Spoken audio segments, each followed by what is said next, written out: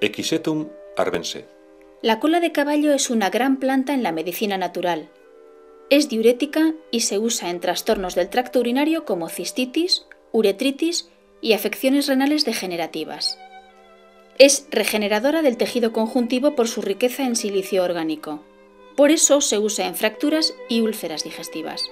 En uso externo sirve para cortar el sangrado de la nariz por su acción hemostática y astringente también usada para paliar los eczemas. No se debe emplear por periodos muy prolongados ni a fuertes dosis por contener ácido equisético,